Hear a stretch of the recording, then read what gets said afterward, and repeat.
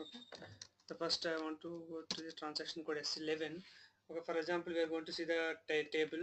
Uh, I will select the table MARC which is um, material master plant data.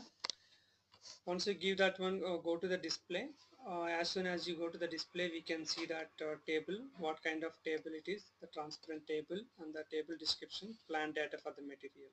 Okay. Here you can see uh, what are the fields available under the table.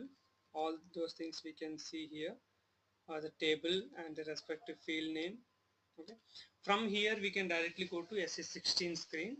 Uh, here if you can observe that uh, blue icon okay? Uh, once you click that blue icon system will take you to SE16 screen. You can see certain fields are only visible as an input screen okay? And uh, we have seen many fields but there are certain fields. How does it happen and um,